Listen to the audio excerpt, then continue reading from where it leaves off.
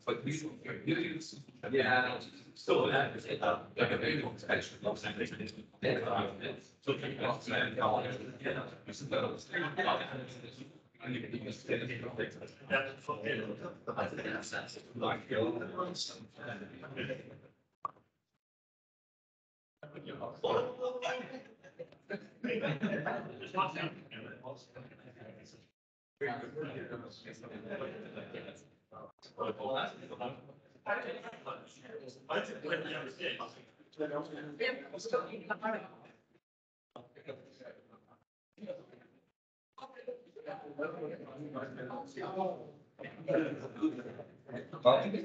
好。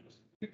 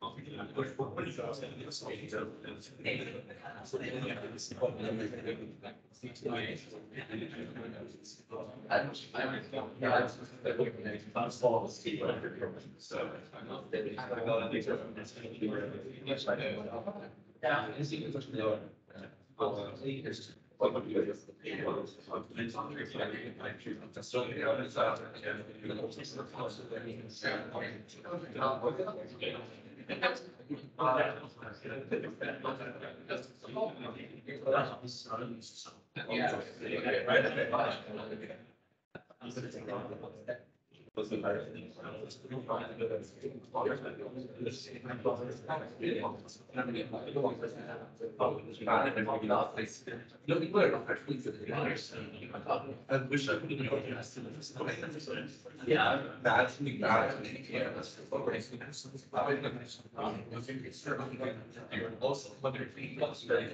Okay. I'll leave you.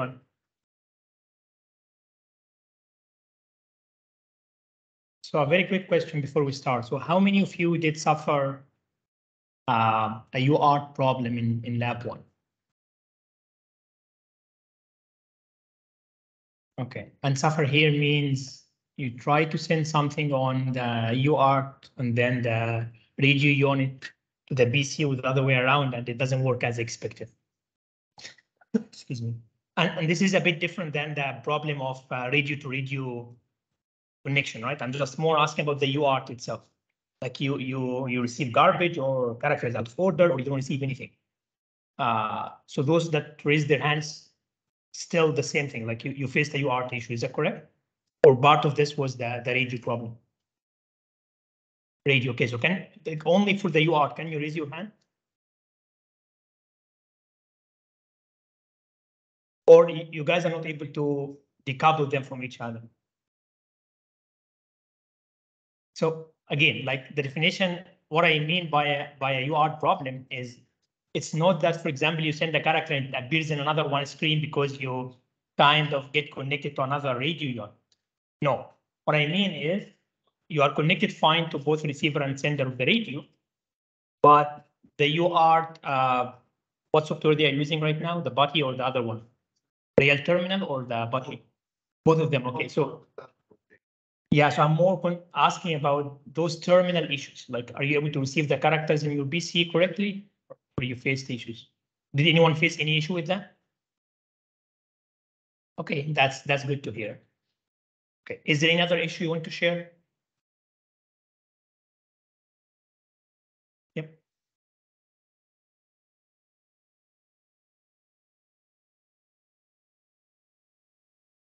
Yeah, sure. Yeah, yeah. So we will, um, we, we work on this starting from lab two. So we wanted to do this in lab one, but, uh, the, the problem is we also want to give you the time. So I can be very strict and say, let's have time slots, 10, 20 minutes time slots, and this is your time slot. If you don't demo through, through it, you just lose your demo slot. But on the same time, I know some of you might have already finished the lab before and some might not, right? So I wanted to be a little bit flexible on, okay, let's do it in a first come, first served basis. Uh, and then after the first hour of the lab, we'll start doing this. If, I, if we're going to have slots, this must in fact start from the beginning of the lab, right? That's that's basically the trade-off we're trying to address. But, but that's, that's definitely a good suggestion and I will try to do it from lab two. Yeah, please. Uh, are we able to register to access the labs after eleven P M? My understanding is that with the access card, you, and this is something I asked even from last year, the first year we offered the course. You guys have this room exclusive for 4DS. We're not sharing the lab with anyone else. And this is because I know the labs are designed not to finish within the lab session, right? Especially for coming labs, which might be a little bit more involved. So the expectation is you have your access card, you have access to the lab. Feel free to arrange your time accordingly and then come to the lab when you want. With regard to the after 11 PM, this might be something not with the lab room, but rather with the building. This is what I don't understand. So did you come to the lab after 11 PM trying to scan your card and it doesn't open?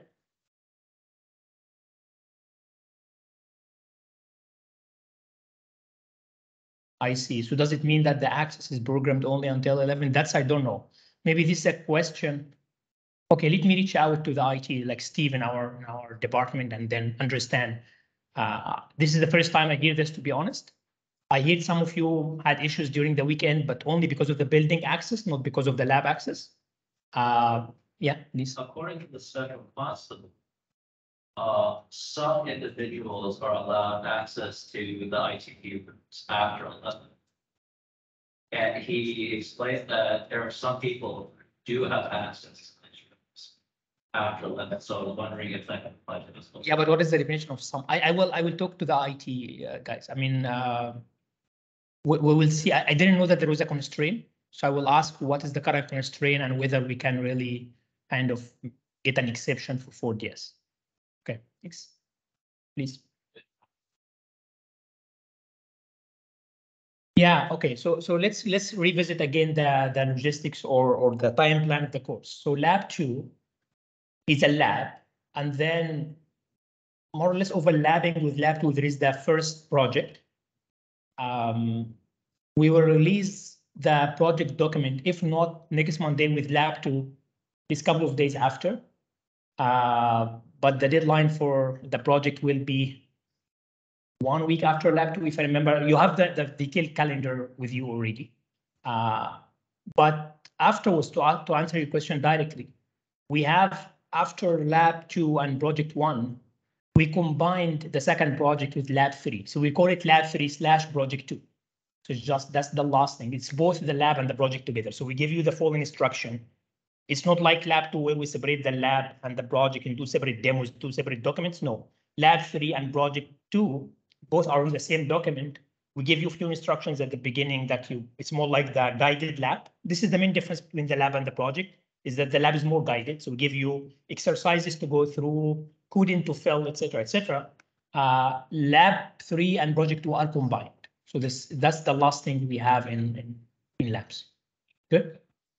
And again, like the detailed calendar is already with you on, uh, on lecture zero. So you should be able to see exactly where should we demo, how much time we spend for every lab and project. Good. Any other question? Okay, thank you.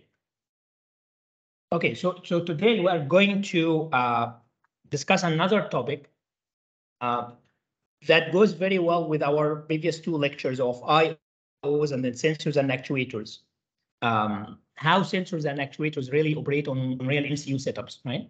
Again, this is, this is a part of a topic that is not new, completely new to you, because definitely you must have seen this already in the second year course. Uh, this is any, any elementary course in interfacing would, would, would cover that. But as usual, we'll try to cover the basics and then delve more into how to apply this to our lab setup and also discuss more advanced challenging uh, uh, problems that we might face when we deal with real interrupts in real use case. So the outline we're going to discuss is, okay, polling versus interrupt, and then interrupt processing. What are the steps to do the interrupt and some of the advanced interrupt related issues. So polling, I would say most of you already might know what is polling, right? Can someone briefly explain what is polling?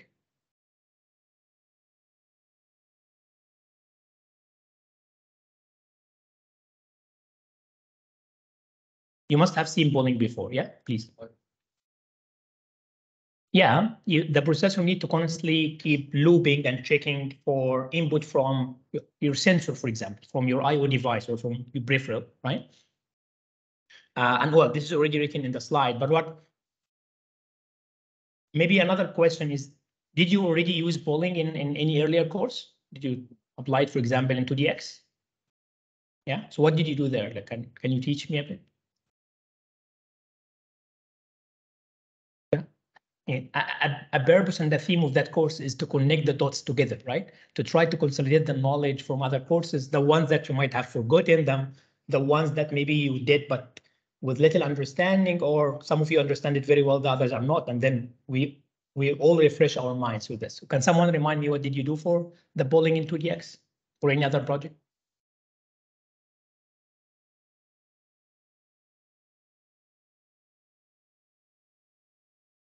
My understanding is you did it, right? This is what I got from the previous answer of the question, right? So what did you do?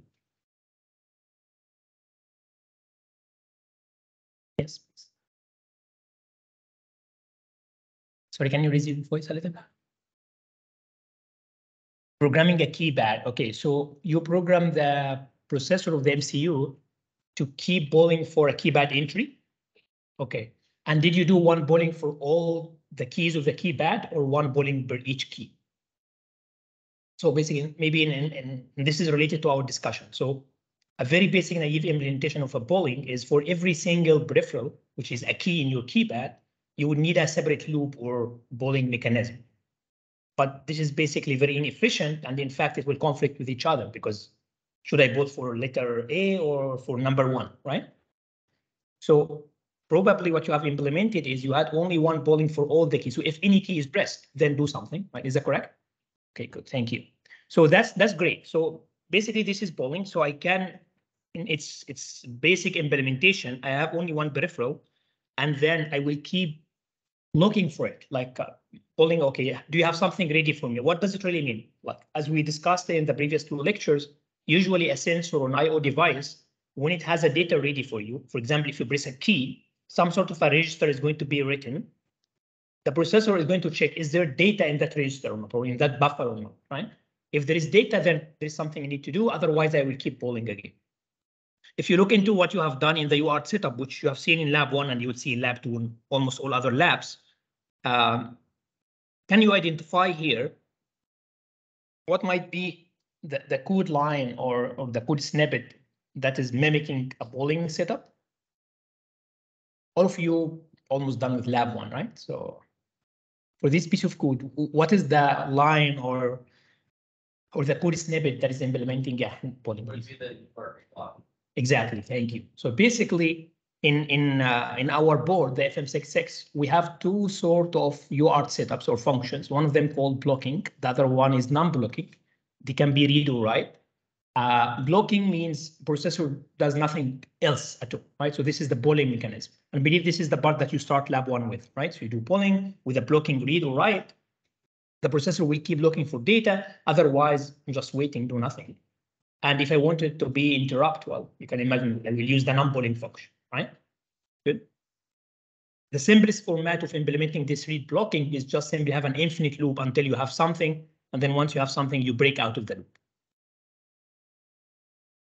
Okay, so now with regard to, well, your friend here, for example, mentioned you have already implemented this before. What is the problem with this? If I'm using polling, what problem am I facing? Well, you mentioned that the way this works is you are storing your processor, keep searching for or keep looking for input from the peripheral. And then once this peripheral has an input, you get it and process it, right? The problem with this is what if this sensor or this input does not have anything? Well, processor is, in fact, is an infinite useless loop doing nothing else, right? Uh, so that's the problem with the polling is that CPU cannot do anything useful in the meantime while it's waiting for the peripheral or the sensor to provide data. Uh, this is the most naive implementation. Improvements can be added. Uh, for example, I can check multiple IO devices, similar to what your friend said. Instead of checking one key, I can check multiple keys. Instead of checking only the keys of the keypad, I can also check the keypad and some other input as well, right? The more sensors or the more inputs for peripherals you check within your loop, the more efficient you are. But but what is the problem with this? Why I cannot, for example, put all my peripherals if I have tens of them into one big loop. What do you think? Everything again has a trade-off, right? There is no winning solution. If there is something naive, then well, people will not use it anyway, right? And polling, in fact, is still used in production. So now the question is, we said most naive implementation of polling is check only one peripheral at a time within a loop. But this is a waste of time and utilization of the CPU. Then add multiple of them within the loop. But if adding multiple of them within the loop makes it better utilized, so why I don't add all my peripherals, for example, inside the loop, right? So what what is what are we losing with increasing the number of peripherals within the loop? Yep.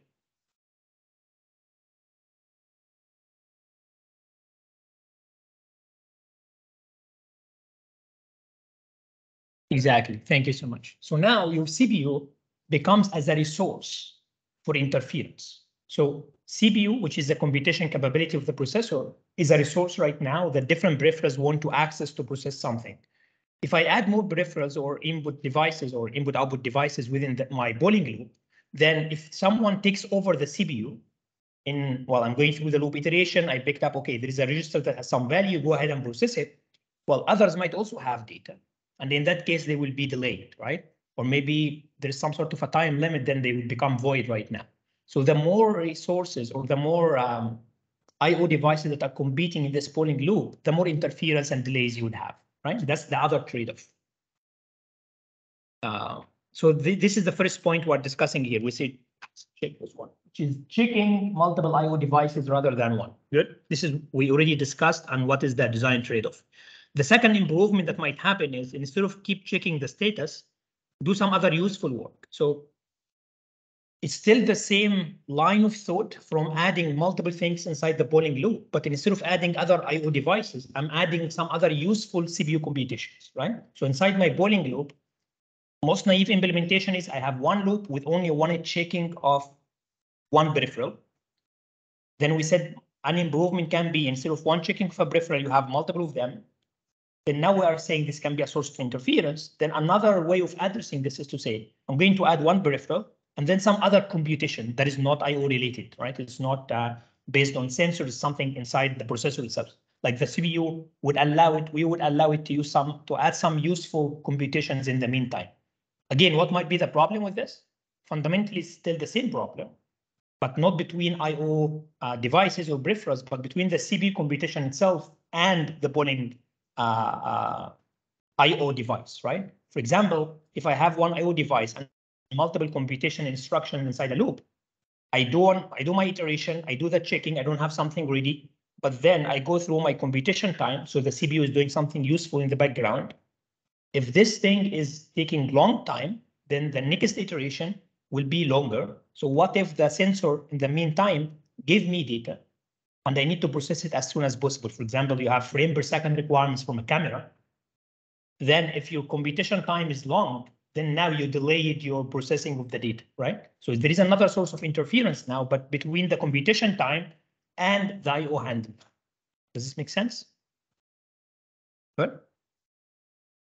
Okay, so this is, uh, again, the question to answer is when do I need to check again and whether my IO device would have a bounded time, like a time budget, a deadline, right? This would allow me to design my polling loop correctly. If the IO device does not have um, a very strict timing requirement, then it's okay for waiting for some time. Well, I'm going to do more useful work. If it has a bounded deadline with a very strict and small time budget, then in this case, I maybe add it in only one loop or add very small computation. So I can design my polling my polling loop basically, according to the requirements of the IO device. Good. And these are some of the real challenges that in fact people are designing polling for in real systems, right? You know that your sensor is providing you data within a certain time budget. How critical is the data and how critical you need or how fast you want to process it. Accordingly, I do my design, like my, my software design to handle my computation effectively within this time budget. Good. So the trade-off here is between performance or CPU utilization and meeting the requirements of the IO device. Does this make sense? Is there any question? So one challenge I see with discussing these topics is it's something that you heard before. It's usually useful if you heard about something before because it can resonate in your mind, but also sometimes you, your mind might block because our minds are designed to be very lazy. You can say, okay, I know this information before, then you really don't listen carefully and then you lose the actual trade-offs we are discussing. So again, a big theme of the course is try to be careful is we start from something you already know, but then we extend it to real industrial changes. Some of them might you know before, some, some of them you might not know, right? So pay attention to what might be new information for you and refreshing the old one as well. Good. So now the question is, what if in fact my O device cannot even wait for my polling time and the loop, even if I put it in a single loop, I need to process it immediately. And immediately means like in a very short time period. Can I do this in polling, first of all? Well, with this design concept, well, theoretically, yes, because you can have one loop per polling, but if you have multiple polling, multiple IO devices, in fact, you cannot at all, no matter what you do. If you want to keep good CPU utilization, you cannot also. But what if with all these real setup constraints, I still want to uh, process my IO uh, data immediately? What can I do? Interrupts, exactly. So go to the other way, right? So use interrupts, which is basically the most common way as well. So interrupts is simply the CPU is doing its own stuff in the background. I don't care about the IO device for now, but once the IO has something ready for me, it sends me, well, in its simplest format, you can think of it as like a, a book, right? I have a wire signal telling me, go ahead and process this right now. I have data ready for you, right? This is why it's called interrupt, because CPU is busy doing something else, and then the IO would interrupt the usual CPU path, like the execution path of the program, and then take it to do something else. We will see right now what is this something else called. Good. In fact, there are multiple types of interrupts. The one we are talking about right now, which is handling data from sensors, actuators, IO devices, is what we call a hardware interrupt, right? And by the way, these slides are already on, on Avenue. Uh, last time I didn't upload the slides before, so you guys maybe for those that want to take notes, I, I will make sure I upload them always before the lecture. Um, so the ones we are discussing right now, or the ones that are most related to embedded system interfacing is the hardware interrupts, right? Those are related to devices that want to handle or ask the CPU to do something. But in fact, even in our laptops, we have other types of interrupts aside from the IO devices from keyboard and touch screen and, and, and, and mouse, for example. We have what we call software interrupt. Sometimes in software terminology, some of them are called traps, uh, but in, in reality, it's just the same concept. It's a special type of instruction uh, that takes the processor out of context or special exception that would require the processor to do something different. For example, you write a very simple MATLAB or Python code, and then all of a sudden you divide by zero, right? Divide by zero, when it goes to the ALU of the processor of your laptop, it's undefined instruction. You cannot really do it. So there's a certain exception defined by a standard, an IEEE standard, in fact, if you're talking about floating point operation or integer operation, it tells you exactly what needs to happen. So with a certain flag in the processor that is being trapped, right? Like it goes to one, which means there is a division by zero right now, and it creates an exception from the hardware to the software, the operating system, and the operating system interrupts your application and gives you the error message. It's in fact what happens in the background you do, when you do something illegal, especially an exception uh, handling about the, the ALU operations, right? So the ALU would complain, set a flag, the flag will trigger an exception in the operating system. It's a software interrupt. The operating system stops your application and gives you the error message. Good. So one very simple example, well, you already mentioned one example, uh, which is good, like uh, using a keypad simply to uh, to take an input. Here we're assuming instead of keypad, what if you have a switch? And then this switch, if it's pressed with a certain pattern, then you change the color of an RGB uh, LED. Good. Um, so I can implement this example using polling or interrupts. So let's discuss a little bit what would happen if I want to design for that or for that. For a polling, I would need to write a, a C code that checks regularly for the switch input, right? Because again, when you press a switch, a register is changed from zero to one or one to zero, and then you will keep polling for this register change value. The problem again is this might be too slow. Um, and it's a, it's an underutilization of the CPU time, as we said. So the faster the response needed, the more often the user need to check. And so if I want to change the LED colors immediately after I check, after I press the button, I cannot have my loop to be very large, right? I have to be to have it very, very quick. In the same time, as we said already, it's non-scalable. non-scalable is the actual engineering term of not being able to add multiple I/O devices, like how many I/Os you can add, right? You have one, well, polling can work. Two might be if you don't have very strict timing requirements. But if you have 10 or 15 or 20, well, it almost becomes impossible? Right? Because you will never be able to meet the timing requirements of all of them. Because they all will be in one loop, right? So this is what we mean by non-scalable here.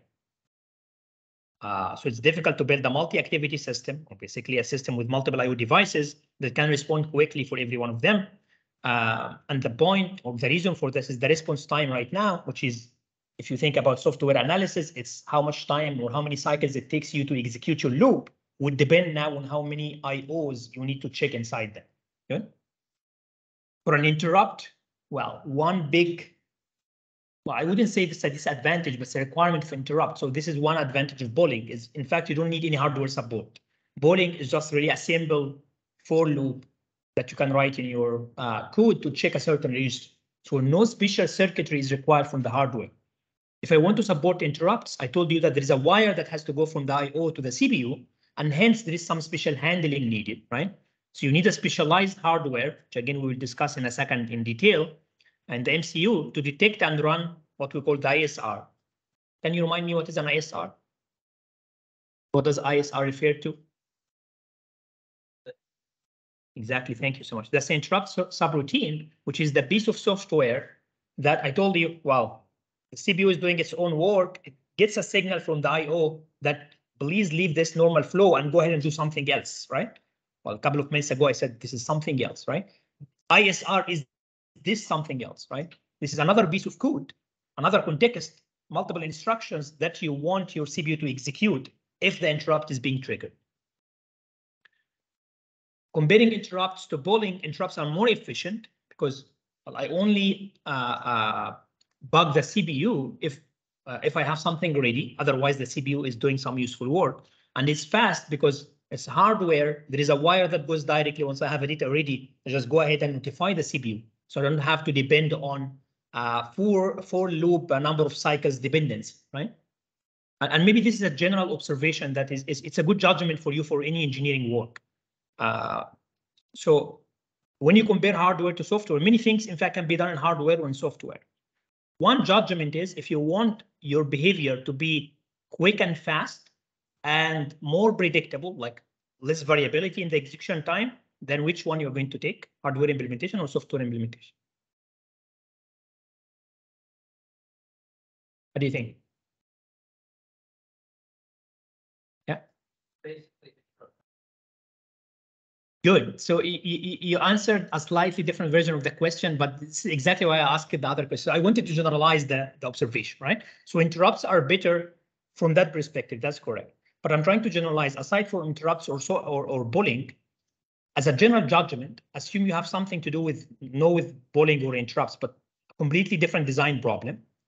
You have the option to implement it in software or in hardware. And then we are saying if you want it to be fast and quick and less variable in, in terms of response time, which direction are you going to take? Uh, it's, sorry, can you say it again? It's harder to, Harder to implement? So you mean in which, like software or hardware? uh, either. Yeah, it's harder to implement in hardware. That's correct. But but the design constraints I gave, not how much time it takes you. This is another trade-off, which is completely correct. But what I'm saying is that if you want it to be fast, not fast implemented, but rather fast in response time and less variable. Software. Okay, so your friend is saying software. What do you think? Hardware. Okay, so why hardware?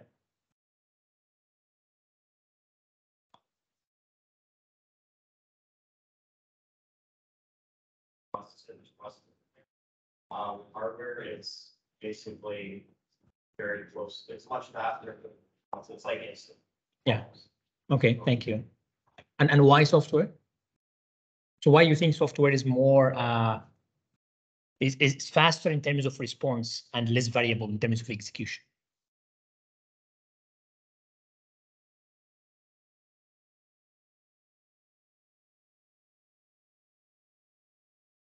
Hardware is faster. Okay. And what about variability in terms of execution time? Yeah, well, variability, like in terms of in one time, I can really give you the response in one cycle. Maybe in another instance, exact same hardware and software, I might give you the response in two or three cycles, right? This is what we mean by variability in execution, which means is it always giving you this within the dedicated number of cycles, or it can be variable based on different program behavior, right? Uh, we discussed variability and predictability a bit in lecture zero. So, so again, the concept is you have one task. If it takes variable execution time, which means it, it can take longer or less based on what else is happening in the system, this is called variability, right? So the question now is, first of all, is the concept of variability clear? Does this make sense to you? Yeah, good. So if that's the case, then which one is less variable, hardware or software? Hardware, good, thank you. So in terms of variability and response, like time, hardware seems to be the better option, that's correct. So what might be the advantage of software? Or variable. Uh, I guess what you meant is you can change easier might be portable, modular. Yeah, that's correct. Yeah. Okay. What else? Yeah, I would say more flexible. More flexible. That's correct. Yeah. Thank you. So, so basically, that's. Uh, let me go back to this slide because this slide is talking about two special kind of algorithms, I'd say, or approaches or mechanisms for polling and interrupt of handling IO devices. But again, the general discussion that we had right now is that the, the more important one is in fact this this trade-off between software or hardware is not only for polling and interrupt, but for many other problems.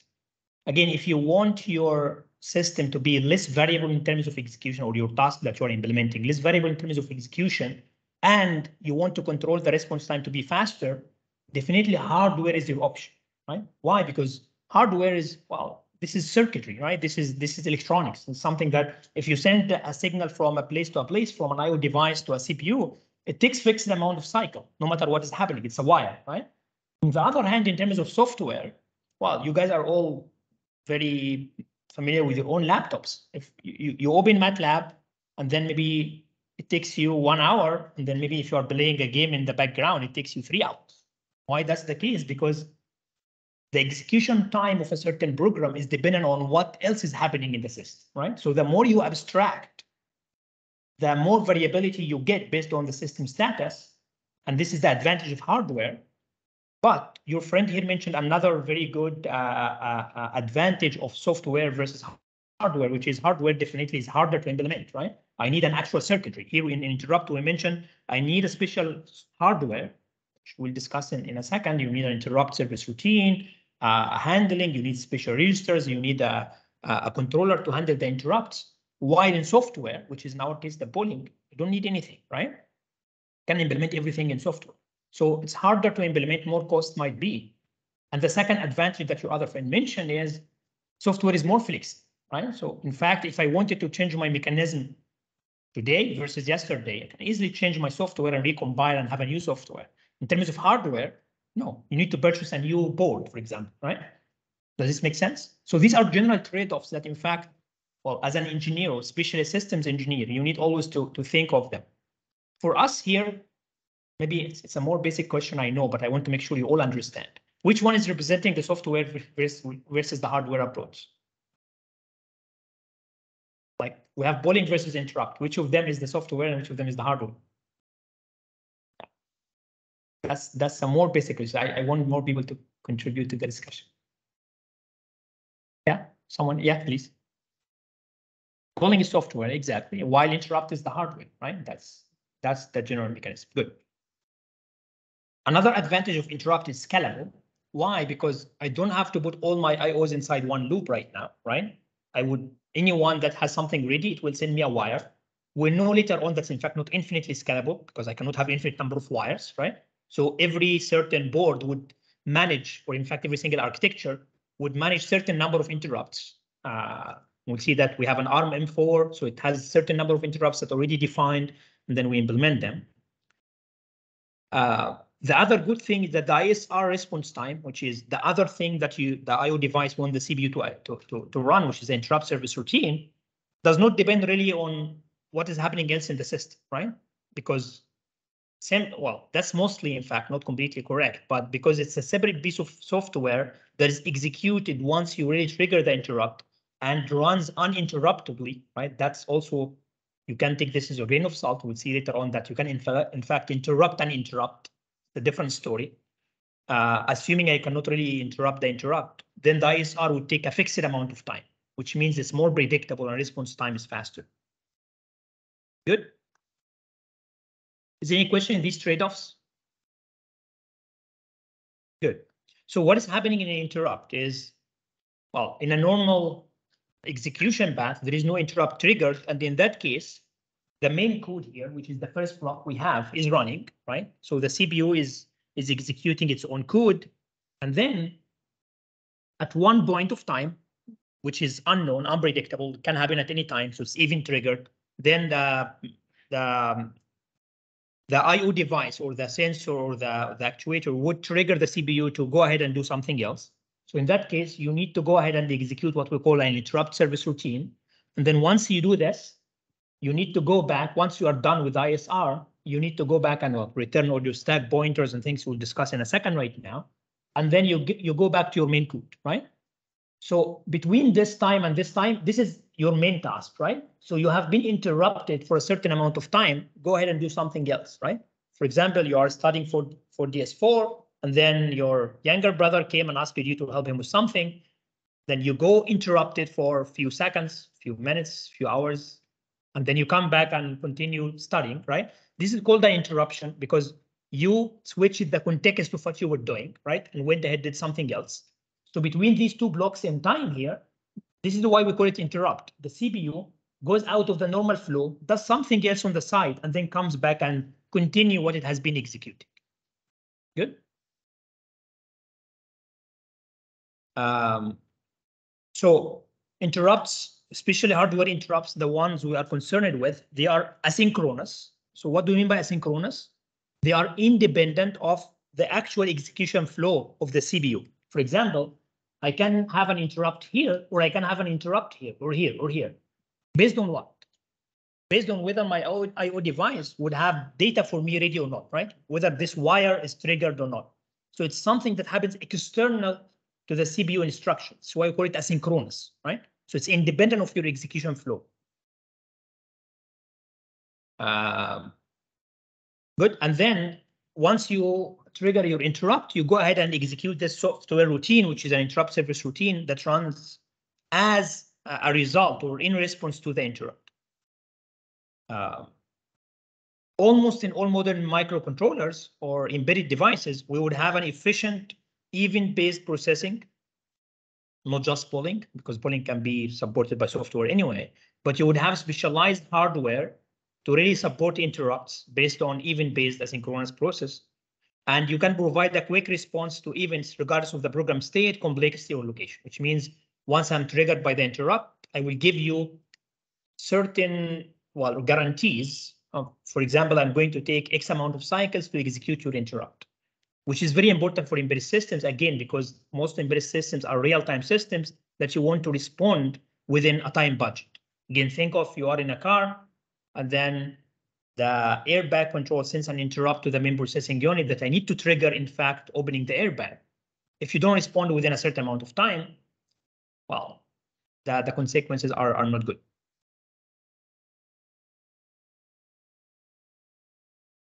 Good. So going back to our main example, we mentioned that we have a switch and we want to change the RGB LEDs. So if I want to do this in interrupt, what would happen is when the switch is being triggered, I would uh, well, the, the main CPU thread would be interrupted. You go to the ISR, execute this ISR, which simply you need to count how many switch counts, how many switch uh, clicks you have done, and accordingly change the color. So you do your count and then go back to the main thread, and then the main thread might be changing the, the LEDs.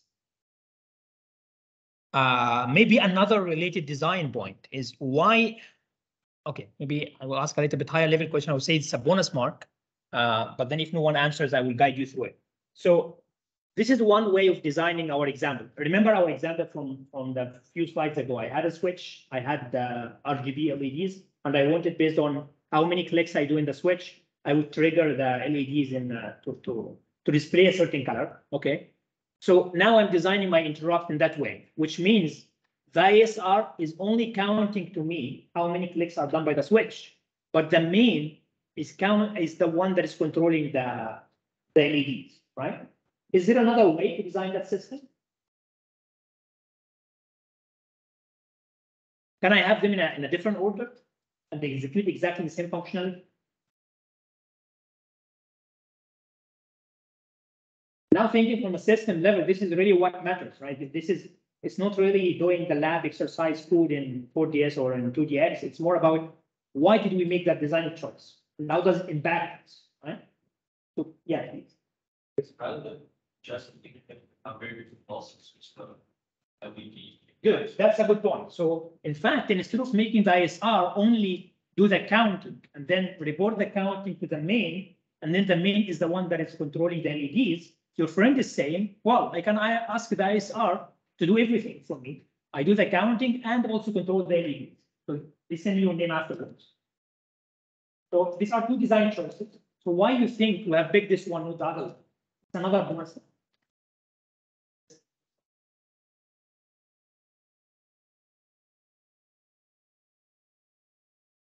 That. So in, in general, and we will have this discussion later on, you want your ISRs to be very small. You don't want them to execute hundreds of instructions, right? Because when you put this LED control inside the ISR itself, that means, well, your ISR lines of code, instructions would be larger, right? And the problem with this, as your friend said, this ISR, put in mind that it was originally an interrupt, right? It's taking away from the CPU its normal flow. And the more time the interrupt takes, the more, in fact, I can also delay other interrupts, right? So you don't want your ISR, this is a general uh, um, design. It has a trade-off, another trade-off that we'll come into later on, but generally the trend is don't make your ISR very long because that's not good for the system. For that reason, we broke it, only do the counting, and then later on the main program, or maybe another interrupt, another routine, would do the, the LED. Good? Does this make sense? Okay, so going back to how does this relate to the board we have, here I'm showing you um, the, the piece of, of, of, of hardware in the M4, Cortex M4, that is related to our, uh, our own interrupt discussion. You will find part of the block diagram of the Cortex M4. Here, we have what we call, um, well, two specialized blocks of hardware. One of them is called optional WIC, which is uh, the wake interrupt controller. And the other one is nested vector interrupt controller, NVIC, right? These two are ARM based, right? That's why we have a Cortex M4. In other processors, they are named differently and implemented differently, right? But most embedded devices are ARM based right now. So it's a general note for most embedded devices. Uh, and then in addition to these controllers, which is the ones that really managing interrupts, dealing with them, we also have, well, our interface here. This interface need to be extended to add the wires we're talking about, right? You need a special wire flag that comes from the IO device, triggers a one, change a register bit to be one, which means I have a bending interrupt to be serviced, and hence the controller will, will read that interface, that wire, go back and service the routine. So uh, let's let's discuss these two controllers in, in a bit of a detail. So the uh, NVIC or the nested vector interrupt uh, controller uh, in, in our Cortex M4, we can handle up to 20, uh, 240 interrupt request signals. Uh, non, non, non-maskable interrupts. We'll know now what does it mean to be maskable versus non-maskable. But that means your processor can handle 240 interrupts. That's in fact a huge number of interrupts, right? Think of how many sensors, actuators you would have in your FMU, right? Not well, 240 should be more than enough, right? Most of the M series of of uh, of, uh, of of ARM uh, added, excuse me, added this large number of interrupts because they know that you need to interface to I/O devices a lot, right? So they want it to be more general and generic. the good thing is that from the name, it's called nested and, and vector interrupt. So vector because you can handle multiple interrupts at a time, and nested. That's the interesting part. Is in fact you can have an interrupt, and then within the interrupt you can have another interrupt triggered. So an interrupt can trigger an interrupt, right? So think of well, forget about interrupts at all for now. Think back of 2SH, 2SI, a normal C program. You are in the main, you call a function, then a function can can call another function, another function, another function, right? So you can really go nested in terms of stack of function calls. Nested interrupts are exactly the same thing. I can be executing my main. If I only can serve one interrupt at a time, I will go to the ISR and then come back. Nothing else in the middle can happen. Very simple, good to analyze. In fact, it's, it's good in terms of predictability, but not very scalable because what if your interrupt while you're doing this interrupt, a more serious interrupt or uh, in the terminology, a higher priority interrupt comes in place. That means if you cannot really serve this higher priority interrupt, it has to wait for the lower one, right? In, in our very common example of automotive, assume that the airbag has to wait for your uh, Wi-Fi, GPS, uh, infotainment unit because it was interrupting the processor. Doesn't make any sense, right? So you need to handle nested interrupts in that sense, which means a higher priority interrupt can interrupt a lower priority interrupt to, to get the service. Is it determined by the board or could you actually change like the priority? That's an excellent question. Yes, in ARM M4, you can really set the priorities of different interrupts by writing to a special register. That's correct. Thank you. Because they are application dependent and hence based on your application, the system designer is the one that is coming up with the priority assignment. Yeah, thank you. Um, is there any other question? Good. So as I said, not all embedded devices would support nested interrupts or priority based interrupts, but because we have a Cortex M4, uh, it has this feature. There is another very interesting feature, especially for low power devices. If you remember from lecture zero, we also discussed that one of the challenges for embedded systems, it's not like our desktops or laptops where power source is in fact very common for us and our batteries live for a few hours and then I can charge it back again. Some embedded devices, you want them to operate in a very low power for years might be, right? Without really changing your power source. So you have to be very conscious about how to deal with power. One way of, of handling uh, this power awareness is ARM M4 have a, a, controller called wake up interrupt controller. So it's a special type of controller and it's optional by the, by the way, which means some, okay, maybe a little bit of uh, uh, uh, uninterrupt from the flow. But usually ARM, which is basically the one that is licensing the architecture of the ARM M4, for example, if you look into the M4 document, you will find that there are features that are basic, fundamental, and there are features that are optional. What does it mean? As a system designer, why should I care? It means that if you are a third-party company, for example, NXP, want to license an M4 to do your K66 device, in that case, it's up to you. You're going to get the basic things, but based on what is your target application, you can also purchase the support for the or implement the optional things, right? So it so when we say the NVIC is non-optional, it means any ARM M4 processor based MCU would have the uh, NVIC. But WIC, which is the wake up interrupt, it does not exist in all devices, right? So take it as an uh, exercise to check whether FM66 would have WIC or not, right? Just see how you can, can reach this out. But going back, so this was an interrupt. We're coming back again to, to, to the main routine. Why do we need a WIC and why it's related to the power? Because if I don't do a lot of activity, for example, you are an embedded device, well, uh, maybe in the desert or uh, attached to a certain animal doing some activity, but then now you are not doing anything. Instead of operating the CPU clock consuming power, something you can do is go in what we call a sleep mode which is you save your power, but still once something happens and triggers, you can wake up immediately, right? Through an interrupt. And this is the WIC. Okay, so this is in terms of controllers. In terms of register support, we need to handle multiple things for interrupts. Uh, we need to be aware of, first of all, stack pointers. Why we need to learn about stack pointers when we talk about interrupts? What do you think? from what we discussed a few minutes ago. So the interrupt process is I run a normal flow of a program and then I jump to the ISR and then come back. Why do I need stack pointers in that case? Back where go back to like the Yeah.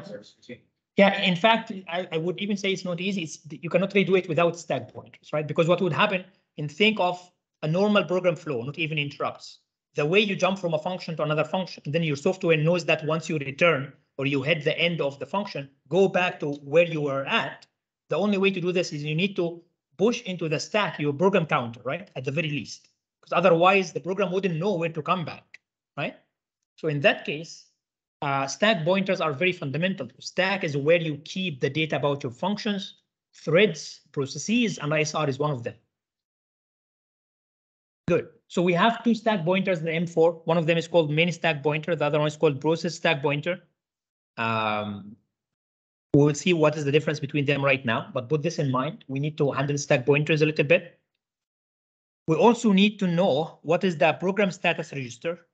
Uh, as part of the program status register here, we have a register called interrupt PSR or interrupt program status register. This is the one that you need to set whether you are servicing the interrupt right now or not, or whether there is an interrupt to serve or not. And then there are also some masks here that the controller will use to know which interrupt to serve and which one in order not to serve. So looking into some of these program status uh, uh, registers, if I look into the interrupt one, which is the one that is interesting for us for interrupts here, IPSR, you will find here that there is a field in this register called ISR number. Why do I need this? I, I can serve up to 240 interrupts. I need to know which interrupt I'm servicing right now, right? So this is a special ISR to handle. So I, I can have multiple ISRs in my application, right? Because I can have 240 interrupts in my software. I need to know which one to jump to, right? The way to know this is your ISR number. So each ISR would get a certain number to serve. Um, good. And then masking bits. We said that there are priority interrupts, lower priority, higher priority. I can serve an interrupt and then be interrupted by another interrupt. How this handled in hardware is through a set of registers. Some of them are called masking. So what does it mean? Some interrupts are maskable, which means if I'm writing my software right now as a software designer, I might choose to say during this critical section of my application, I don't want to be interrupted at all. So if you're doing something critical in terms of running time, you want to disable interrupts. Why that's the case? Because you want to guarantee a certain, for example, it's a feedback loop in a control system that would have to do with taking an action for a pedestrian, for example, right? Something that is safety critical. In that case, you don't want to be interrupted because once you are interrupted, well, it might take variable time, right? So in that, or, or at least will take more time or more delay. So in that case, you can mask your interrupt. So masking means disabling, right? Most interrupts are maskable, but there are some interrupts that are non-maskable. Because again, based on what you are doing, some interrupts might be even more critical than the critical task you are doing. So we need to know from the hardware and the software, which interrupts I can mask, which ones I cannot mask, and then do my analysis according to that. But aside from this discussion, system level discussion, you need the hardware support. So this hardware support is this basically masking register, which is a one bit that says, okay, if set to one, I will block all interrupts apart from the non-maskable ones. So if you write a one to that bit here in that register, you are saying, you know what, I'm not going to accept any interrupt other one other than the ones that I cannot really mask. And then you have variations of this. For example, uh, here you are blocking everything except non-maskable interrupts and hard fault exception. What, what is hard fault? For example, you went through some sort of an exception in your program execution. This is called hard fault. What if you want only to block the uh, to to what if you want to block everything, including the hard fault, but not the non-maskable? In that case, you wouldn't be setting that bit, but rather you would be setting the fault mask interrupt, uh, the fault mask bit, which is this one. So for the fault mask, if you set it to one, you will block everything, including the fault, the hard fault exception, except the NMI or the non-maskable ones. Good. So this one is even more uh, aggressive, right? Because you're also blocking the faulty, the, the fault exception ones. Uh, okay, what if you want to be more flexible in the sense that I want to block interrupts? So I, I'm executing a certain program, and then I have certain priority within my interrupt. I want to block block every one with a lower priority, but not a one with a higher priority, right? So I have now a fine grained control. Block everything on a lower priority interrupt, but not the higher ones, right? And this is the last bit here that you can use, which is the base uh, uh, masking. In that case, if you set it to one, which is this bit here in that register, if you set it to one, you will block all interrupts of the same or lower priority, but you, you will not block the higher ones, which in most cases, it will make logical sense, right? Because you, you don't want a lower priority interrupt to block a higher priority one. Make sense? Good. So that's the hardware support basically you need to be able to do all this flexible stuff. Again, this hardware support is only there if your MCU or your board is supporting vectorized interrupts, like support multiple interrupts and uh, they can be nested. Okay, so now let's try to reflect on some of this knowledge in what we have done already in lab one. So in lab one, uh, you have already wrote an ISR routine, right? So if, if you remember this piece of code here, this was your ISR routine. Uh, and uh, well, here I'm covering the write blocking, but if I use the write num blocking, I I would keep. So assume I'm using the write num blocking here. But before that, to be able to well set up your system for what interrupt you are handling, I don't know if you paid attention to these lines, but as part of your UART setup, we had to enable interrupts to be able to use uh, interrupt based UART, right? So I uh, we, we have used these two methods from uh, existing library. Uh, one of them is called enable interrupt, and this is basically the one that is well setting the num masking bits, set it to zero because you don't want to mask it, and um, you also wanted to enable a certain interrupt number, which is enable IRQ for the UART4, right? And then you need to write an ISR, which is what piece of software you need to execute when you really get an interrupt, right? So in a normal execution, I'm running this main code. At any certain point here, I might be interrupted because I enabled the interrupt. I need to jump somewhere. So this is where you are going to jump, which is your, your ISR, right? Which is basically another method handling the, the UART. Good. So now one good thing if you want to, if you already need to understand all these details, which might be a, a bit boring and tougher to get from slide based, you can use the debugger in your MCUXpresso IDE to be able to check all the steps we are going to discuss. So one of them is I can in fact see all the registers, stacks, source code, and what ISR I'm servicing right now, what's happening with the program counter, where do I save it in the memory, all the steps we have for an interrupt, you can check step by step by using the debugger in the IDE. And if you do so, you will see all these steps, right? So these are the detailed steps that you need to do to really handle an interrupt or the hardware would need to do to handle the interrupt in, in, uh, in a correct way. The very first step is if you are interrupted in the middle of an instruction, well, you need to finish your instruction first. And this is a 4DM concept. So why that's the case? Why I just don't interrupt at any point, even if in the middle of an instruction? What do you think? Did you guys discuss exceptions on pipelining on 4DM or no? pipeline, so can't just like immediately drop everything off the pipeline. Exactly. If you do this, there might be an instruction that already wrote to a register file, another one that calculated something but didn't really finish it. So in the middle of a pipeline, your system is not in a stable state, right? So if you drop then it's not really safe to, well, you'll not be, first of all, you'll not be able to come back in the middle because usually when you come back from the interrupt, you come back at the beginning of an instruction. But on the same time, some results that are in flight, you are losing, right? This is used, this is called exception handling in pipelines. And usually the trend, especially in embedded systems, is finish your instruction finish uh, first, the one that you are executing, the ones that are in flight in the pipeline before you jump to the ISR.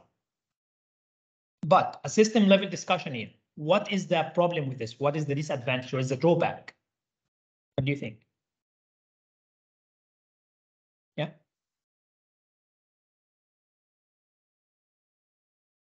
Exactly. This will delay your interrupt. So you have to factor in this delay. This is basically a context switch delay, right? So you have to factor in this delay as part of your ISR calculation. If your ISR has a timing budget, a deadline, this delay must be added to your calculations of the execution time. That's one thing.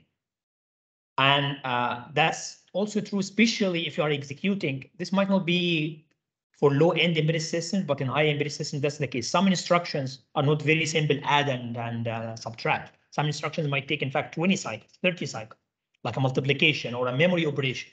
So in that case, this is a very long instruction. That's why we have the note here, which is might be in most systems I'm okay finishing the current instruction if it's a quick instruction, one cycle, two cycles, three, four cycles. But if it's an instruction that is ten plus cycles, I would rather interrupt. Okay? But I just told you a second ago that in fact you cannot do this. Otherwise, you're going to lose the status of your system. So what are you going to do? How to handle it correctly, right? It's usually a topic covered in 4DM, but from the faces, I feel that you guys didn't cover at all. Or might be, I don't know. So, so I will give you a very brief one minute discussion of this. So what would happen in a pipeline? We have this concept of flushing, right? You must have seen already in branch prediction or at least in some other context, right? So if I want to interrupt in the middle, I due to an exception or interrupt, your only way to do it correctly is to delete. I told you that there is an in-flight status right now, which is not written yet to the register file with the memory. I have two options, either complete it correctly and get the new status or delete it completely and go to the old status, right?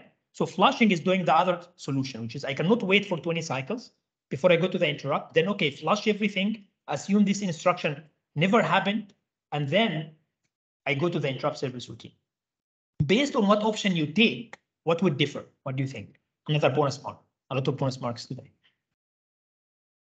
Yes, someone else? So, so based on what option I take, what I need to take care of uh, uh, differently in terms of interrupt handling, in terms of the steps we have here. What do you think? Yep.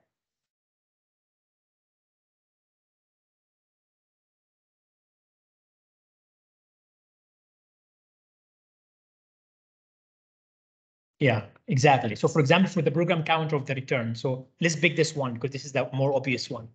What I will need, what I will do if I completed the instruction versus what I will do if I flushed the instruction.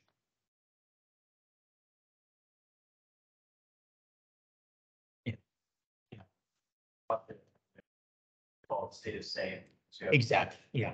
So part of, part of this process is that if you flushed, then in fact you need to return back, well, you assumed or your premise was that this instruction as if it never happened, right? So in that case, when you come back from the ISR, you need to come back to the exact instruction, or if you went back multiple instructions in the pipeline, you need to go back to exact same instruction that you flushed. Otherwise, you lose it completely, your program will be incorrect, right?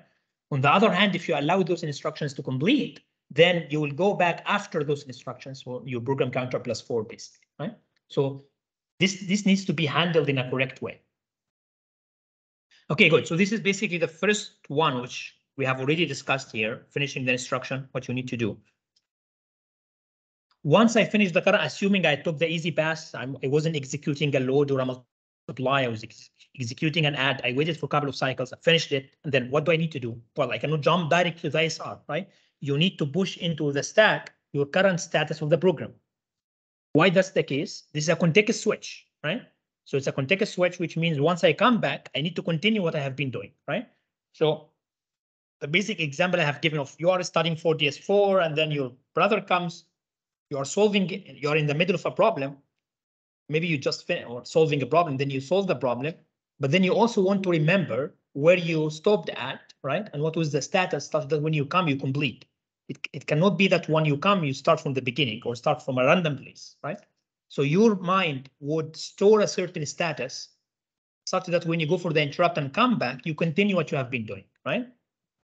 So this is basically what we need to do with pushing the context of the current stack. What does this context include? Well, it includes the registers, the program counter, any special handling registers, including return addresses, link registers, etc., etc. Uh, one thing you know, I would assume you already know by now about stack is that it grows in a decreasing address, right? So stack, the stack grows down while the heap grows up, right? Uh, I told you already that we have two stack pointers in, in uh, Cortex M4. One of them is called the main stack pointer, MSP. The other one is called process stack pointer, PSP.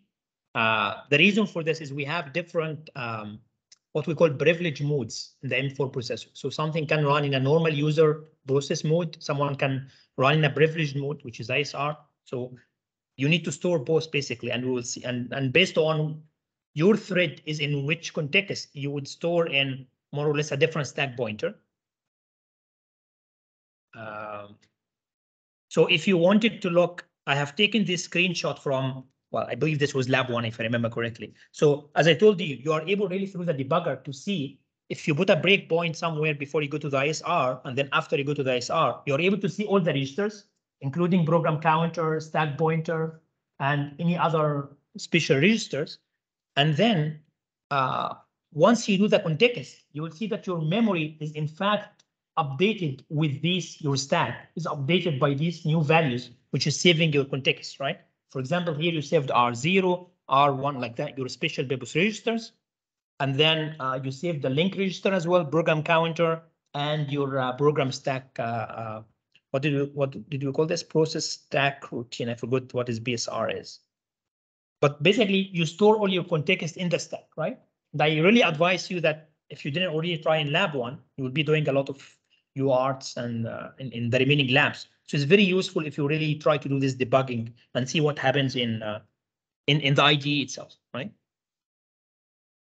Good. So I finished the current instruction.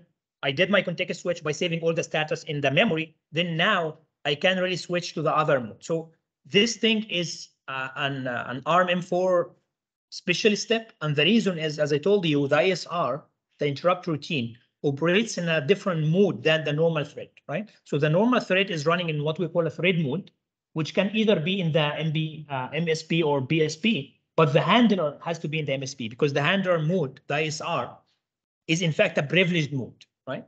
To be able to, to, to interrupt your processor. Uh, so you need to switch if you are running, for example, in the in the thread mode or the normal mode, you need to jump into the privileged mode or the handler mode. As I said here, the handler mode is always using the MSP.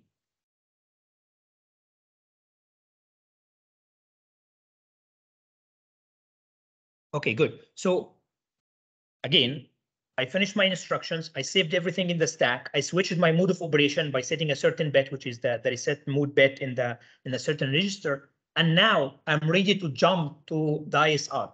How to jump to the ISR? Well, as simple as jumping to any instruction, uh, to any function in your normal source code. What do you do is you load a new program counter into the PC register, right? So you load a new address into your uh, into your program counter. This is really how your program really jumps between functions, right? The program counter is loaded by a new address. And it's also, by the way, how you branch in a for loop or an if statement. Your program counter gets a new value. So you need to load the program counter with the address of the ex uh, exception handler.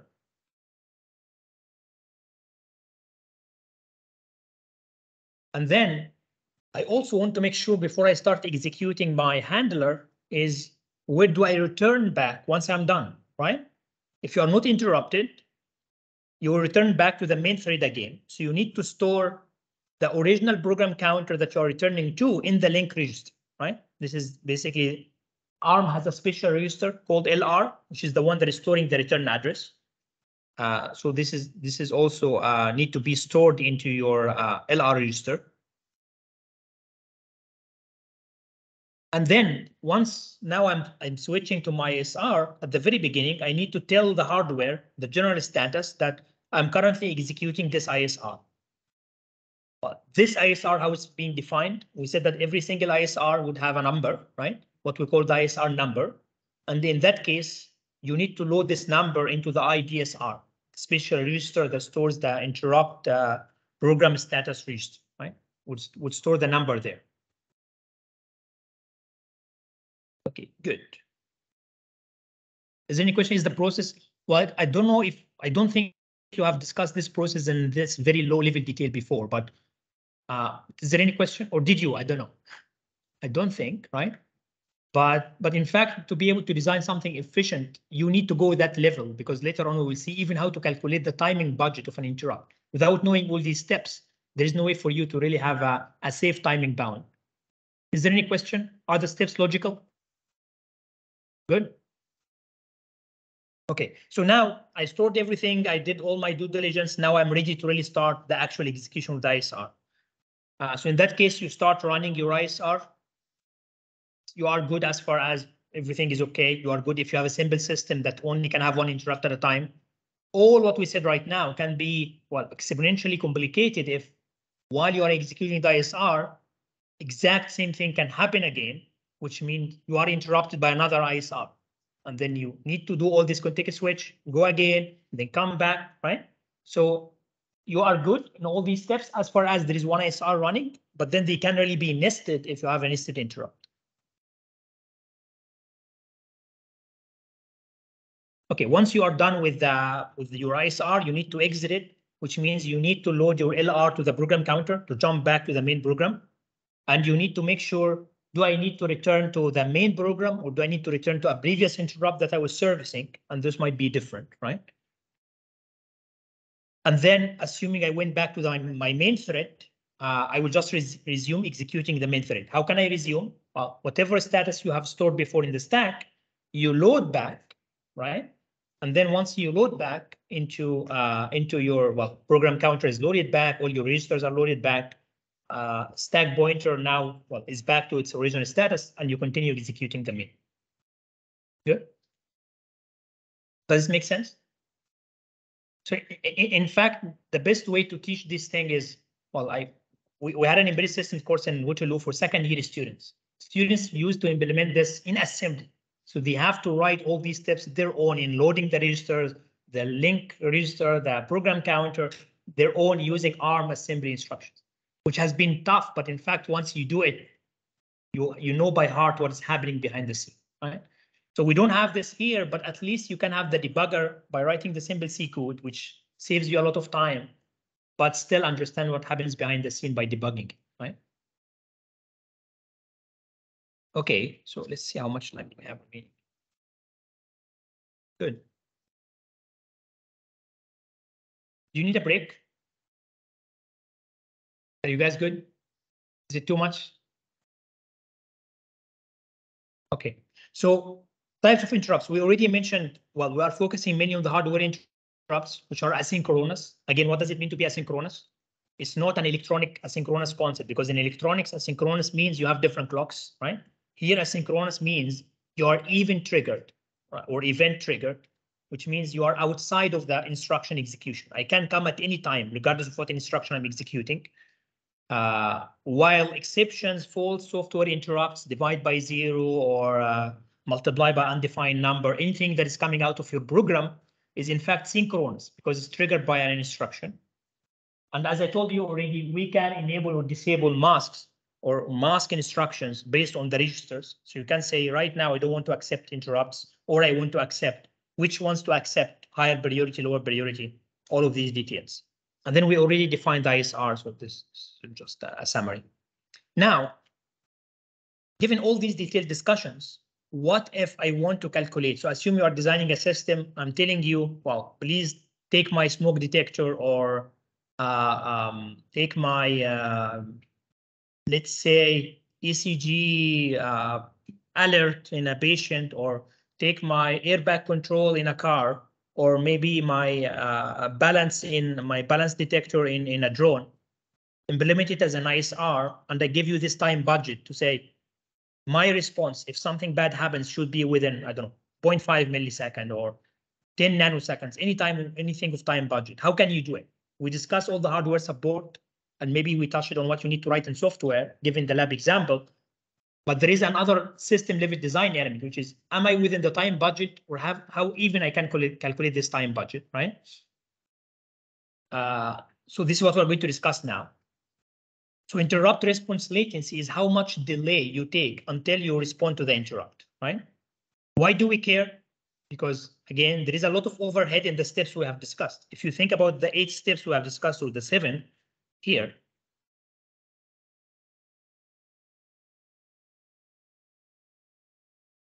if you think about these steps, which one of them is overhead and which one is the actual execution? What do you think? In terms of overhead defining, as an, again, another engineering concept. Which one you consider an overhead, which one you consider an overhead? That's actually, executed. Exactly, right? All of this is overhead, except in fact executing the ISR itself, right? All what we are doing here in this six steps are context switch, right? I just want to make sure because I'm jumping, I'm doing it correctly. So in that case, all of this is not doing something from an execution perspective, useful instruction execution, right? It's necessary, but it's a matter of an overhead. So you cannot really say if I'm calculating my IPC, what is an IPC? Or DM? What is an IPC? Yeah, instructions per cycle or per clock.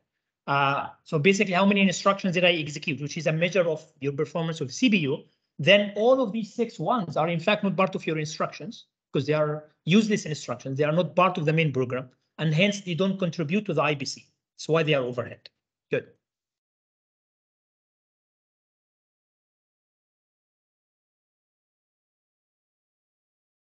So now, why do we care? Because there is a lot of overhead that wastes time. Um, and also because interrupt is taking me away from uh, my own flow of the program. So in fact, there are two effects here. And, and in, in a system level, I need to care about both. How much time does the interrupt take to execute on its own? If it's a critical interrupt, especially, and also how much time the interrupt is delaying the main thread of the program, if the main thread is a critical task, right? Because again, these are two sides of the problem that you need to take care of. If I want to calculate how does it long for the interrupt to execute, then, well, I need to revisit all the seven steps we have discussed. I finish executing the current instruction, push all the registers. I combine all these six steps into what I call here the C in interrupt response overhead, which is something that is basically an overhead. Excuse me. And then if I do any memory handling, it will even take more time, but let's ignore this for now. And now we will make few definitions of how to really budget the time of this execution. So I, I give you few symbols here that I'm defining. One of them is what I call F max end, the first one here. This is the maximum interrupt frequency. What does it mean? I can really bound how many interrupts I can serve within one thread, right? Because I can mask and unmask, it's up to me. So assume I'm running a normal thread in my, for example, a normal navigation thread on, on my car. And then I can, I'm going to say within this thousand cycles of execution, I'm going to serve only 10 interrupts, five or 100, it's up to me, right? So your interrupt frequency, which is the rate of your interrupt, is how many interrupts you can serve within a certain time. And you can confirm, uh, you can convert this to frequency by dividing by clock time. This is F max end. Okay? And then I also know my CPU running frequency, right? Because this is from the data sheet. I call this FCPU. Now I need another metric. In fact, I need two metrics. One of them is the overhead itself, which is executing these six steps we had earlier. I call this C overhead. And then the step number seven, which is executing the actual ISR, this is called CISR, which is how much time it takes me, how many cycles to execute the instructions of the ISR. Good. And now based on these metrics, I can uh, start calculating, well, the interrupt rate and then the interrupt delay and how much time does it take. All under the premise that I'm executing one interrupt at a time for now, right? Because nested interrupts are much more complex to analyze. So what is the outcome? What I'm looking for I'm looking for, well, calculating what I call my U int, which is my utilization, which is how much of the CPU computation power is taken by the interrupt, right? So you can think of the CPU computation power, which is simply just your CPU time, right? Like if you go to AWS, for example, you rent CPU time for a certain, like a certain CPU characteristic, some memory for a certain amount of time and you pay some dollars, right? So CPU time is a precious resource, right? You want to see how much time does it take the interrupt out of this uh, resource. So we call it UNT, which is the utilization of the interrupt, which means how much time does it take out of the CPU time. And how do I calculate the UNT or the interrupt utilization? Well, it's in fact a metric of all these uh, uh, symbols we have defined earlier, right? So I would say I want it to be a percentage because if my CPU utilization is 100%, which is my full resource, then the interrupt will take a portion of it. So I want it to be a percentage. Is why I'm here like multiplying by 100% to make it a percentage. And then I'm saying, okay, if if n is my interrupt frequency, so it's a reflection of how many interrupts I served within this period of time. I will multiply this because every one of those is one interrupt is going to take this full time, right? Because every single interrupt would take the overhead plus the execution time of the ISR, right? So this is the time that it takes to execute one interrupt. If you multiply the time of one interrupt by the frequency of the interrupt, and you divide by the CPU frequency, this in fact gives you the utilization. Is the intuition clear? Good. What does this utilization really reflect? It reflects how much of the CPU resource is taken by the interrupt, by one interrupt. Good. And why that's the case? Because the CPU looks like it's running the other code with the CPU clock speed. Oh, yeah, that's another thing. If, if the interrupt has taken this period of time, how does it impact the main thread? Well, now the main thread will see, instead of I'm seeing hundred percent of my frequency, I will see a portion of it, right? So instead of saying hundred percent FCPU, if you're running into hundred megahertz, because of your interrupts, as if you would see a lower frequency of the CPU, right? Because you got a fraction of your CPU frequency. How to calculate this fraction is just simply one, because it's a percentage, minus your utilization of the interrupt. Is any question here? Make sense? So in, in tutorials, we'll be solving problems related to this, this might be a candidate for a problem in the final exam? So just wrap your head around it, try to think of how to design it uh, to be able to calculate the interrupt uh, uh, overheads. Is there any question before I jump into another design design point? Okay. So volatile data, that's another thing you have seen in lab one, but I'm not sure if you paid enough attention to. So one problem we have with interrupts, which in fact exists even in non-interrupts, it's, it's, it's a general multi-threading problem in CPUs that usually compilers would assume this program is running alone, which means it's the only thread in the system. Which means if I'm accessing a memory location, I'm going to bring this memory location to my own local register, right? So if you think about, well, let's uh, try our odds and see if we try the bin. So you have your CPU here. You have your set of registers. And then you have, well, multiple level of caches, and then you have the main memory. Assume I abstract all of this to assume I only have one big chunk of memory here. All your data initially exists in the memory, right? But memory access time is very large, right? Hmm, probably you know this from 4DM. So what most systems do is you bring your data from the memory. Assume, for example, you are accessing a, a variable called count. This count, the very first time you access it, the hardware will go to the memory, bring it and put it in one of the registers you have in your register file. Why that's the case? The register file access time is very, very fast. It's tightly coupled to the ALU. Its access time is just a single cycle. And if the data is there, you don't need to go to the memory or the bus or anything. It's very, very predictable, very, very uh, uh, uh, high speed. What is the problem with this related to interrupts or any multi-threading thing? Is that if this variable count is shared with another, let's say I have a multi-core system, for example. And assume that this count is shared between the two CPUs. What is going to happen is that this count will also be brought to the register file of the CPU. And by the way, register files are dedicated to a thread. So even we don't need to take about to talk about multi-cores, but rather about different threads running on the same CPU. Because the register file is. This is why you push your registers into the stack before you jump, right? So you bring the count here and you bring the count here in another thread. If one thread is modifying the count in the register file, what is going to happen to the other thread? Is a stale date, right? It's a wrong value of date. So that's in fact not possible for any shared data. Otherwise, you will have incorrect result, right? This makes sense? So why this problem is happening? It's a matter of performance optimization. Compilers and hardware usually bring the data for first time from the memory to the register file. As far as it's in the register file, I'm going to operate on it. And hence, I'm not going to update the main memory except when I remove it from the register file. In the meantime, if another thread is updating it, it will see the old value. Good. Uh, this optimization can fail. Uh, again, think of if you have an interrupt. So instead of saying two threads, I have the main thread, I have an interrupt here. I gave you this example of, well, go way back to our main example of this switch and LEDs. Here.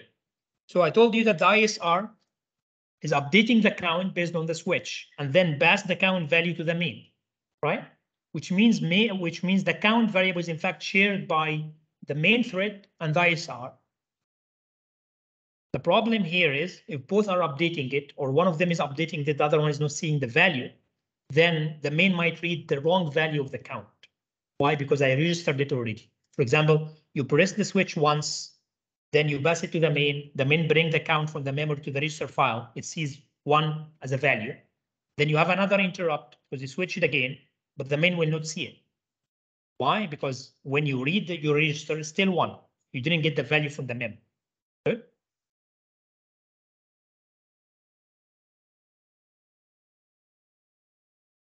So the solution to this problem is to use a special reserved word in C you have used in lab one, which is called volatile. Good. So what volatile does is you tell the compiler, don't optimize this variable. Every single time you access it, go ahead and issue a load instruction to the memory. Why? Because I know that, for example, the ISR might be updating it. Good. So if you go back to your lab one, you will find, in fact, we defined a couple of variables to be volatile. Yeah, as I'm saying here, C source code will simply result in an assembly language load register instruction. And more details about the word volatile can be found in this reference. So if you look into lab one code, you will find we defined, in fact, the character and the new character, both to be volatile. Why are we doing this? Because we know that the ISR here is in fact updating the character and the new character, while I'm also accessing them from the ISR, uh, sorry, from the main thread. So to be able to make sure I get the updated value from the ISR, I must make them volatile. Something you can try, very easy, remove the word volatile and see what happens to your program. You'll find that you will never get the correct value, right? Good. So this problem, as I told you, it can be generalized. As it's, it's, it's part of the uh, interrupt discussion only because the interrupt is another context. If you don't do any interrupts, but you have multi-threaded program or multi-core program, the same problem still exists. It's fundamentally because you share data among threads, right? So if memory is shared between the ISR and the interrupted code, they can mess with each other. One can update while the other one still have access to a stale data. Here I'm showing you a code example. It's a bit of a puzzle. Let's look into it together. Assume I have a variable called count. I initialize it to zero as a global variable. And then inside the ISR, I'm increasing count by one, which is this line here. And then in the main, I'm checking if count is equal to 10, I reset it. So I subtract 10. I already answered the question, what does this program intended to do? Now, the more question, the, the, the, the, the more interesting question is that, is it going to do what we expect it to do? What do you think?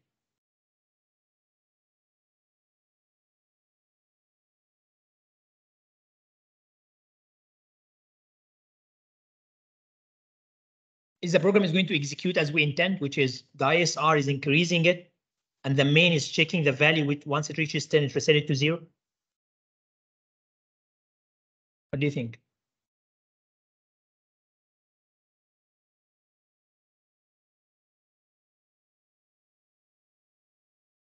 So we, we have time and you guys owe me uh, around uh, 45 minutes. I, I wouldn't keep you after after 12:30, but uh, just put in mind, yeah. Would it stay at zero? Well, that's might be one way, but I guess you're like jumping ahead of your, like you're saying there is a problem, and this problem might be that the counter will stay at zero, right? But at least you say that there is a problem, right? Is that correct or no? Okay. Yeah. The.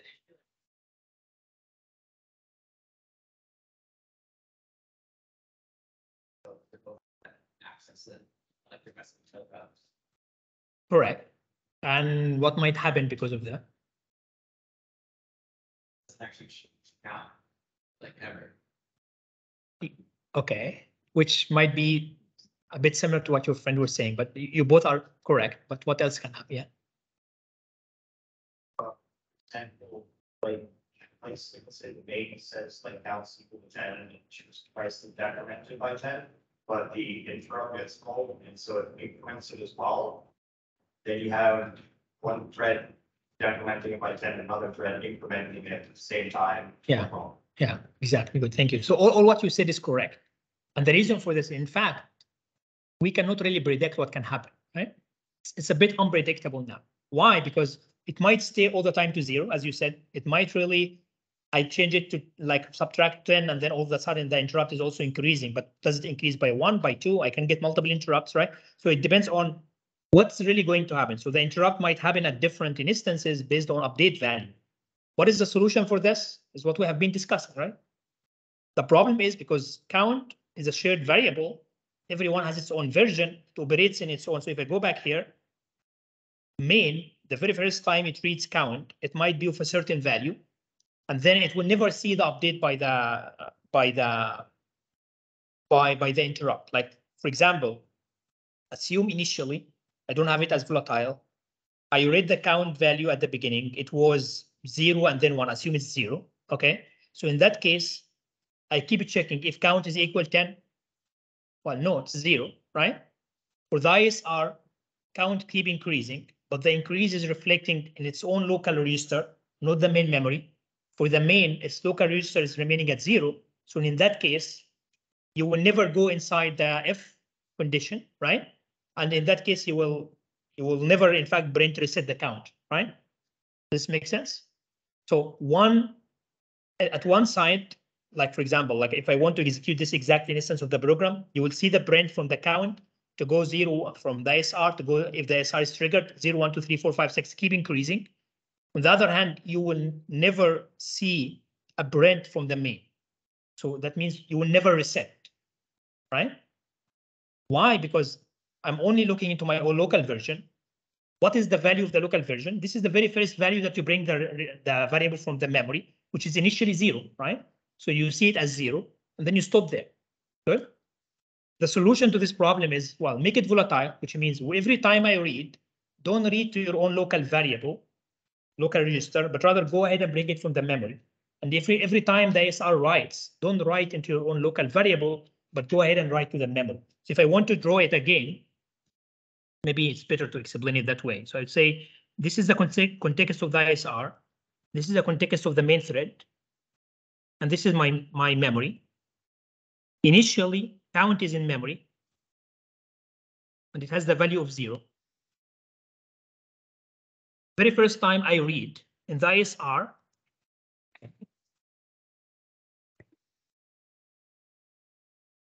very first time I read, uh, I get the count as zero ISR in my register, and then I keep increasing, right? So I, I count plus plus, which means goes from zero to one, and then I say Brent count equal one.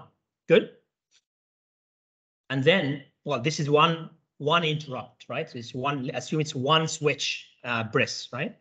For the main, I brought it to my local value, count equals zero. I check, does it equal 10? No, so I don't do anything. Assume another interrupt happened, so I, I click the switch again.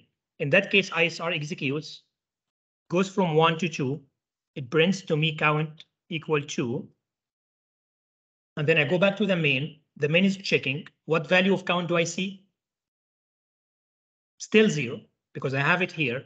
I never flush it and read back.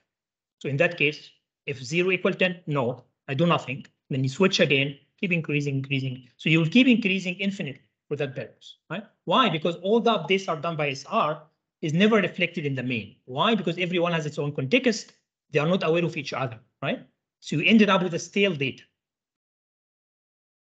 If I want to solve this, I will use the word volatile such that every time I write, so what is going to happen in the hardware is this is my SR context. This is my main thread. I bring the count. In that case, I might not even as a hardware and compiler to optimize, bring it in my local register. I always write there. So in that case, if I go to the ISR, increase the count by one, so I read zero, so it add to one. So I'm going to update this value to one. If the main reads, then, well, it will read from the memory, it will either see zero or one, but doesn't really matter. Once the updated value happens, it will see it. Does one equal 10? No, so I print nothing. So the first thing you'll see from the ISR, count equal one. The only time that the main will go inside the if statement if you have pressed 10 times, so the count is 10, right?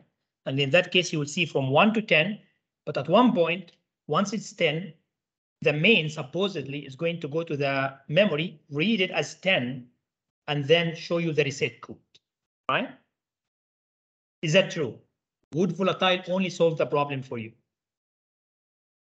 This, this is the next level of the trick,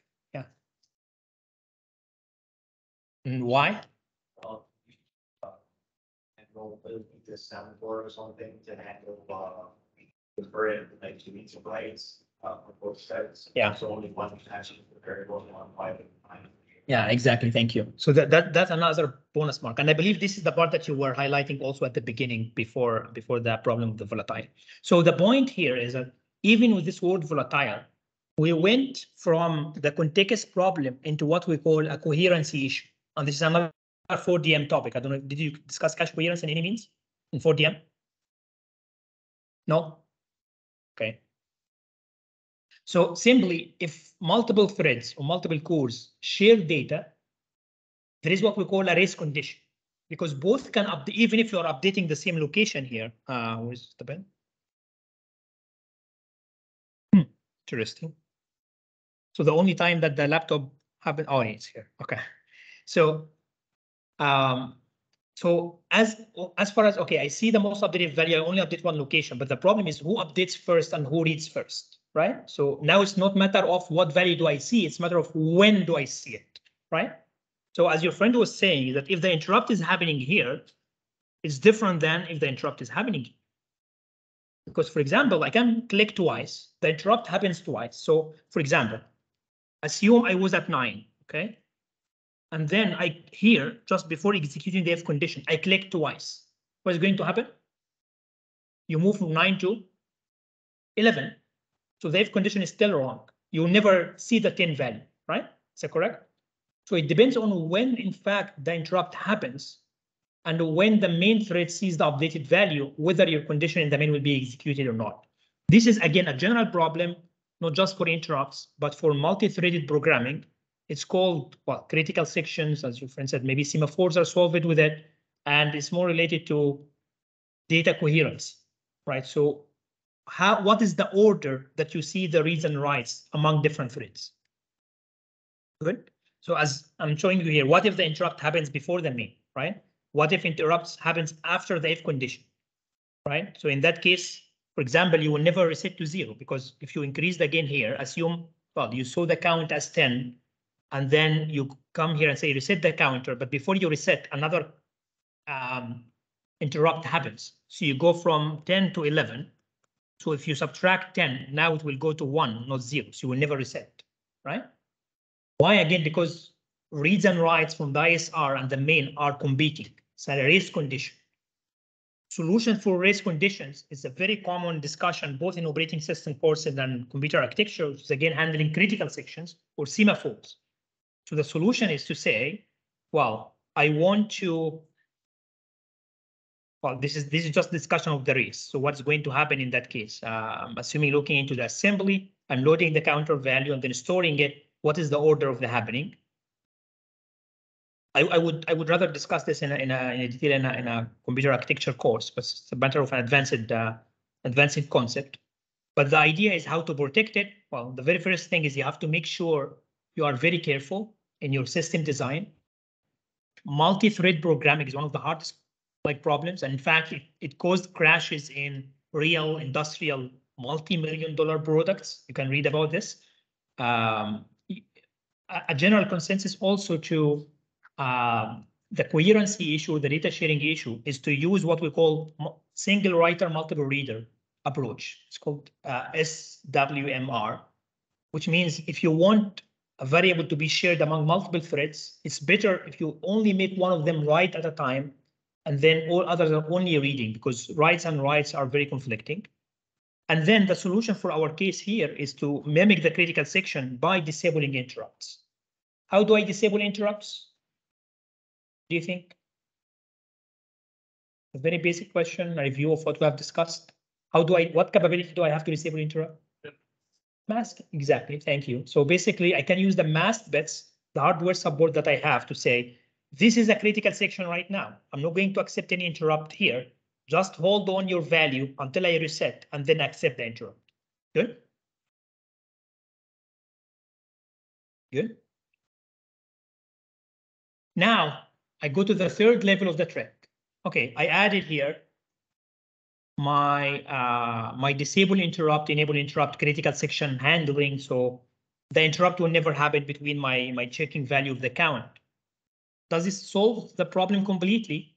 Well, in fact, no, if you have vectorized interrupts. If you can really have another interrupt within the ISR, right? So what if while I'm in fact increasing and before even printing, I get another interrupt, so I click the switch again. What do you think? It will be also updated, right? The exact same problem, but not between ISR and main. It's now between ISR zero and ISR one, right? Correct?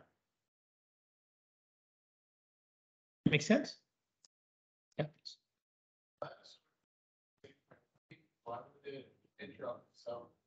Yeah, that's a good point. So this is based on what you design. So you have to really say, I want to disable interrupts of same or lower priority if I am operating this interrupt, which is something you can do in hardware. So that's this is what you will end up doing. That's correct, right?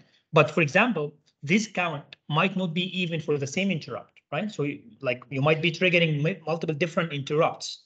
Uh, because the argument can say, okay, what if the count is also shared with a higher priority interrupt? Now I cannot really block it, right? So in that case, you would have the same problem. And the solution for this problem is, well, maybe I want also to disable interrupts sharing this variable with me, even if uh, they are higher priority, right? This problem we will discuss more when we come to real-time operating systems, which is next lecture or the lecture afterwards. It's called priority inversion. Why that's the case? Because assume count is shared with a higher priority interrupt. If I don't block it, I get the old value right? So it's a still incorrect functionality. But if I block it, now I allow the lower priority interrupt to block a higher priority interrupt. That's why it's called priority inversion. It's very problematic for real-time systems. It has solutions and we'll discuss them. Good. Is there any question? Okay. So this is, yeah, given that we were discussing nested interrupts. So in general, I can be in the main and well, I'm interrupted by maybe a, a- switch click, I go to one interrupt and then this one is interrupted by a higher one, I go to it. Once I'm done with this one, this flow is exactly the flow of a functional call, function call in, in a normal program stack. Then once I finish this one, and well, I was interrupted, so I finish this one, I go back to the same interrupt I was in. And then I go back to the main, right? In ARM Cortex M4, in fact, you have the option. So you can say, I might go directly from this interrupt to the main if I want, if I was delayed by too much, for example. But you have to be careful because in that case, you didn't execute the ISR fully. So again, you are in this transient state of the system, which might be incorrect, right? But it's up to the system designer to do so. How nested interrupts are handled in, in ARM is through the um, vectorized, the NVIC uh, or NVIC controller. Uh, you can manage and prioritize interrupts. We said we already have 240 out of them. Uh, we said already interrupts are types of exceptions. N capital here is how many interrupts you can handle. Uh, and we said you already have two modes of operation, the thread normal mode and the handler mode. Uh, all, all this is also handled by the NVIC. Uh, but the point here is NVIC is getting multiple interrupts. It has to check all their priorities. It has to check all their status and then nest them accordingly, right? So it's, it's in fact a complex piece of software, uh, sorry, of hardware. So NVIC is, is, is quite advanced.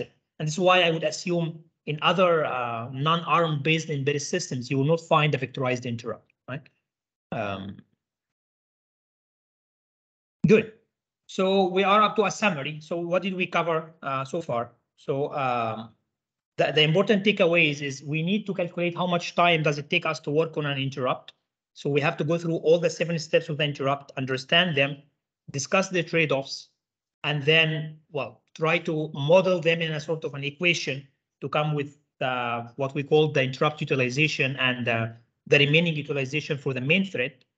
Um, should you enable or disable interrupts while you are in ISR? That's another concept we discussed. Um, how to communicate between ISR and other threads. We said, well, this might be through volatile variables, but that's not the only solution. What if there is shared data? You need to enable disable interrupts as if you are mimicking critical sections. Uh, and you have to pay attention to, yeah, It's non-atomic data sharing and how volatile data can be handled. By doing this, we are done. So I would say, uh, thanks everyone. Uh, it's just an acknowledgement that this is a collection of slides from a few different sources, especially for Cortex M4. I used a lot of slides from ARM. Um, and next week we'll start the real-time operating systems, which will align with Lab 2, because Lab 2 is the RTOS stuff, the FreeRTOS stuff. This will align with the next Thursday lecture. Uh, see you all next week.